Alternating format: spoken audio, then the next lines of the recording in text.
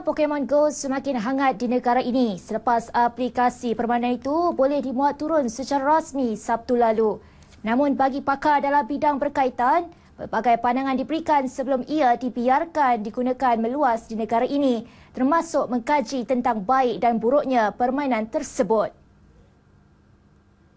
Bagi pengarah Pusat Kecemerlangan Media dan Inovasi Permainan Magic X UTM, Profesor Madya Dr. Muhammad Syahriza Sunar, pengguna harus bijak dan menilai kebaikan dan keburukan Pokemon Go kerana sejauh mana ia memanfaatkan pengguna terus menjadi tanda tanya pemain untuk keluar daripada rumah.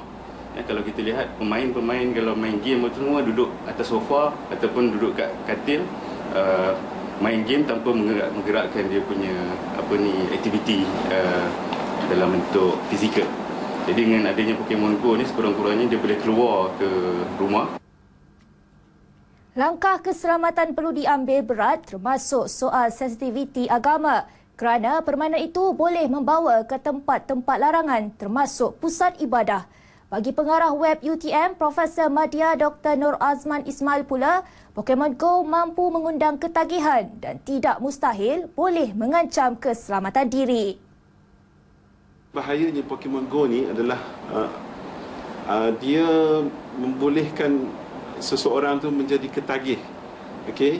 selain daripada ketagih dia juga boleh menyebabkan apa nama uh, dia bila ketagih tu dia buat sesuatu tu di, di luar di luar batasan contohnya walaupun Pokemon Go memberi amaran supaya tidak menggunakan uh, permainan di dalam kenderaan tetapi because of ketagihan dia akan um, apa nama menggunakan juga Beliau juga tidak menolak kemungkinan maklumat dalam aplikasi permainan berasaskan realiti itu boleh dimanipulasi pihak tertentu dan tidak mustahil boleh mengancam keselamatan negara.